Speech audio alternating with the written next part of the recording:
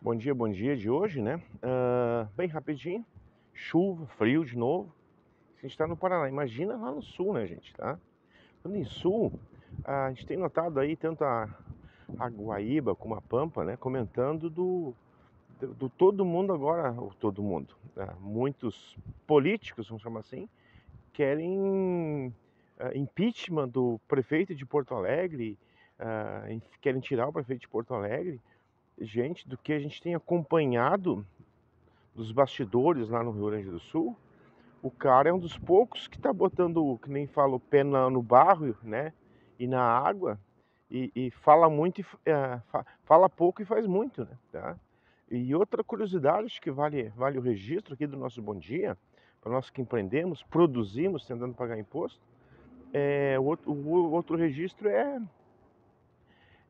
a enchente não foi só em Porto Alegre, né? Tá? 400 municípios do Rio Grande do Sul tiveram problemas, né? tá?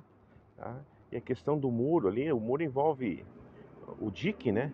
Não só o Guaíba, como, como a região metropolitana de Canoas também, tá? Então, fazer em ato de politicagem, né?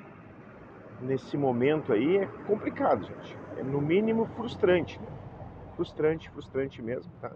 Então fique esse registro aí para quem quer tirar o prefeito de Porto Alegre quando a enchente, né?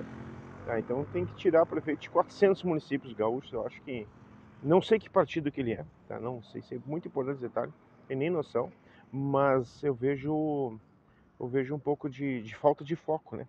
Nesse momento tão importante que o pessoal precisa, ainda mais no dia de ontem, de novo tiveram cheias em Porto Alegre, tiveram cenas de resgate praticamente ao vivo nas redes sociais, algo assim que a gente não não, não quer para ninguém, realmente, tá? Então fica o nosso registro aí, menos politicagem e mais ação, mais resultado, ainda mais para o Rio Grande Amado que está precisando tanto, que Deus nos abençoe nesses desafios aí.